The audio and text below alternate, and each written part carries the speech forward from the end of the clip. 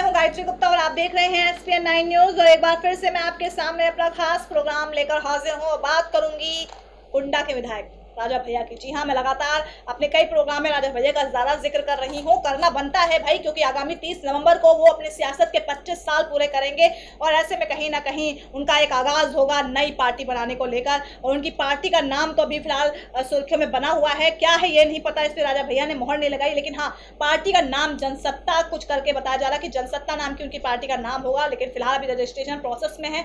खुलकर सब कुछ बताएँगे आगामी तीस नवंबर को राजा भैया। अब ऐसे में राजा भैया जो हैं, अपने पूरा एक मेला लेकर आएँगे लखनऊ में। यूपी की राजधानी लखनऊ में आगाज़ करेंगे और दिखाएँगे बाकी पार्टियों को।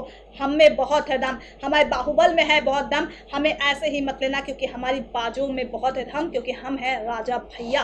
क्योंकि अगर देखा जाए प्रतापगढ़ और आसपास के क्षेत्र, कुंडा के क्षेत्र को अगर छोड़ दिया जाए तो कहीं भी अभी राजा भैया का उतना वर्चस्व नहीं है जितना अवध में वर्चस्व है, और इस वर्चस्व को कोई भी दरकिनार नहीं कर सकता।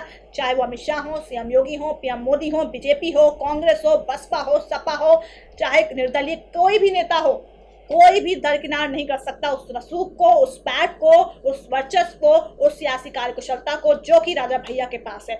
अब इसी बलबूते राजा भैया जो हैं, अब अपनी पार्टी का ऐलान करने वाले हैं आगामी तीस नवंबर को, और बहुत बेहतरीन तरीके से ऐलान करेंगे वो।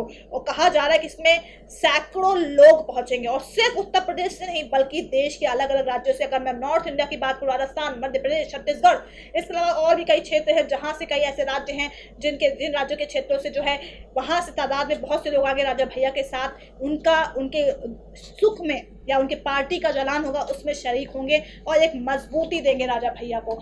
ये जो भव्य आयोजन होने वाला है आगामी तीस नवंबर को कहा जा रहा है। ये कहीं ना कहीं विरोधियों को अपनी ताकत दिखाने का सबसे सुनहरा मौका होगा राजा भैया के पास कि वो किस तरह से अपनी पार्टी का किस तरह आगाज़ कर रहे हैं और ऐसे में कहीं ना कहीं डरने की ज़रूरत होगी उन सभी पार्टियों को। फ़िलहाल राजा भैया तो ये कह रहे हैं कि अभी वो बीजेपी की तरफ़ फ़िलहाल राजा भैया के लिए जो संकेत आ रहे हैं कि बीजेपी की तरफ़ उनकी नरमी है, हालाँकि अखिलेश यादव से उनकी कहीं ना कहीं खटास चल रही है। मायावती से तो उनकी पन्नी नहीं है क्योंकि उनके ऊपर कोटा लगाया गया था और ऐसे में शिवपाल से भी कहीं ना कहीं उनकी जो है एक नज़दीकियाँ ही हैं, दुनिया तो नहीं कहेंगे, नज़दीकियाँ ही हैं। कुल मिलाकर तो ऐसे में जहाँ तक शिव अगर राजा भैया का आकलन देखा जा रहा है तो राजा भैया कहीं ना कहीं गणित बिठाने में पूरी तरह से तैयार है कि कैसे भी करके अगले साल जो मैंने अपनी एक रसूख बनाई है, उस रसूख को भुनाया जाए और पार्टी का पूरे देश पूरे पूरे प्रदेश में प्रचार प्रसार किया जाए। अब देखना होगा कि शिवपाल और राजा भैया दोनों की पार्टी का क्या अंजाम होता है। लेकिन फ़िलहाल जो आई है खबर, ये कहा जा रहा है कि राजा भैया जो हैं अब उनका जो उनके जो एमएलसी हैं ये अक्षय प्रताप सिंह अक्षय प्रताप सिंह जो हैं समाजवादी पार्टी के एमएलसी और राजा भैया के सबसे करीबी हैं अक्षय प्रताप सिंह। उनको गो आ, उनको ज़िम्मेदारी दी गई है उनको गोपाल जी भी कहा जाता है। और उनको ज़िम्मेदारी गई दी गई है और राजा भैया के सबसे करीबी हैं वो ये शख्स अक्षय प्रताप सिंह। और यही पूरा जिम्मा संभाल रहे हैं राजा भैया की रैली को लेकर राजा भैया की पार्टी को लेकर पीआर से लेकर मीडिया से लेकर सब कुछ ये मैनेज कर रहे हैं। और इन्होंने ही ये कहा है कि अपनी पूरी ताकत झोंकी है और उन्हें लखनऊ में आयोजित एक समारोह में शामिल होने के लिए राजा भैया यूथ ब्रिगेड ने यानी कि लखनऊ में जो समारोह आयोजित हो रहा है, उसके लिए राजा भैया की जो यूथ ब्रिगेड है स्पेशल ट्रेन प्रयागराज से लखनऊ चलवाने के लिए रेल मंत्रालय से संपर्क किया है और लगभग 12 लाख रुपए दिए जाएँगे राजा भैया की तरफ़ से इस ट्रेन को बुक कराने के लिए, ताकि उनके जो समर्थक इस ट्रेन में भर भर भर के यूपी की राजधानी लखनऊ पहुँचे।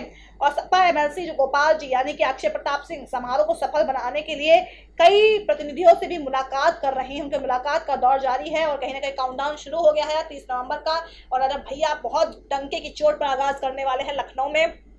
उनके समर्थक, आप समझ सकते हैं, बारह लाख रुपए वो रेलवे मंत्रालय को दे रहे हैं एक ट्रेन बुक कराने के लिए। इसके अलावा और भी कहा जा रहा है कि उनके जो यूथ ब्रिगेड के और भी जो वहाँ पे जो कार्यकर्ता हैं, जो और भी नेता हैं, जो जो जुड़े हुए हैं, राजा भैया से, राजा भैया के राजा भैया को जो लोग मानते हैं, उनके लिए कहीं ना कहीं पूरे देश से उनके समर्थक जुटाने की पूरी कोशिश कर रहे हैं और एक मजमा जुटाएँगे वो लखनऊ में और जिससे कहीं ना कहीं एहसास कराएँगे राजा भैया की ताकत का कि राजा भैया में बहुत है दम।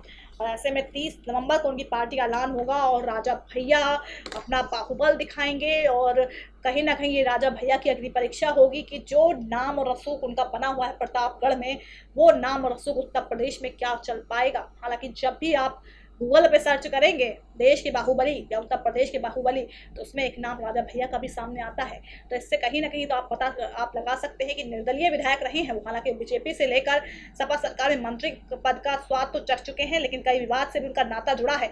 लेकिन फिर भी देखिए कुंडा की जनता उनमें कितनी श्रद्धा रखती है कि हर बार उनको जिता देती है, और वो हर बार निर्दलीय विधायक बन जाते हैं, और हर पार्टी कोई ना कोई जो है, उनको अपने खेमे में लेने के लिए बिल्कुल तैयार रहता है कोई ना कोई उनको, कोई ना कुछ ना कुछ तो अवसर देता ही रहता है कि आप मेरी पार्टी में आ जाओ आप मेरी पार्टी में आ जाओ। तो ये उनका रसूख है। और शायद यही वजह है कि राज्यसभा में अमित शाह के कहने पर सपा को छोड़कर बीजेपी को वोट दे दिया।